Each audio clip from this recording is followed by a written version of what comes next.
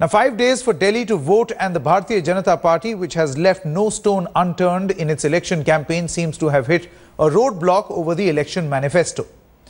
Now, the party is unlikely to release a full fledged manifesto after its senior leaders reportedly failed to agree on the demand for full statehood for the national capital. The party instead will come out with a vision document for Delhi. Kiran Bedi had gone on to tweet her own vision of Delhi, which included a plan for slum dwellers, streamlining of traffic, roads and public transport. The demand for full statehood remains a contentious issue because of the all-important question of who will control the Delhi police, which currently reports to the centre. If Delhi is granted full statehood, law and order will come under the state government, which all political parties have earlier said will solve much of the capital security problems. However, there is no conclusive proof that having police under the state is actually going to improve law and order because crime does exist in many states which have full control of the police.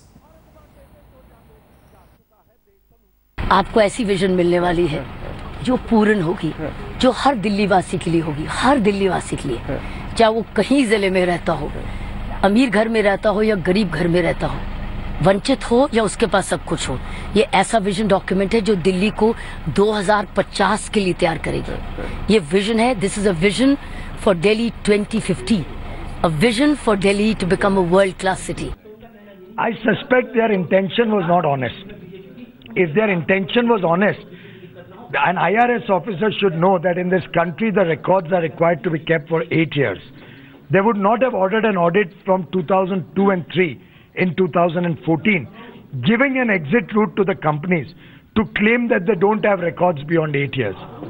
And in that process, tangle the entire audit into litigation. I think it would have been much smarter to get the audit of the last eight years done first and take appropriate action in the interest of the people of Delhi and simultaneously start the process of the rest of the audit so that we could get the whole picture.